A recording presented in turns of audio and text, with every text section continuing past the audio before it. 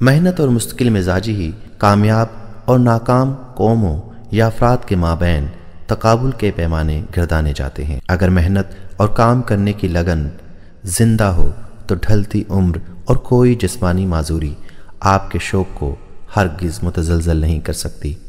ایسے ہی شوق کی مثال عزم و ہمت سے معمور یہ پینتالیس سالہ سید خاتون ہیں، جنہیں قدرت نے آنکھوں کی بینائی تو عطا نہ کی، لیکن محنت مستقل مزاجی اور ہمت جیسی بلند قامت خوبیوں سے مالا مال کر دیا۔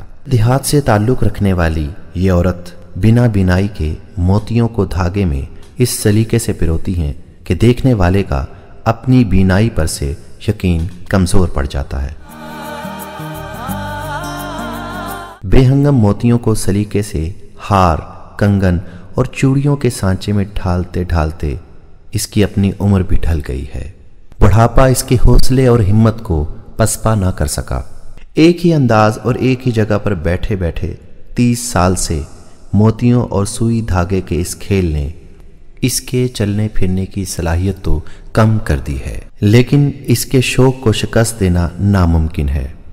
کیونکہ سوئی دھاگے کا یہ کام اس کی مجبوری نہیں، بلکہ اس کی زندگی ہے اور کچھ کر دکھانے کا جذبہ۔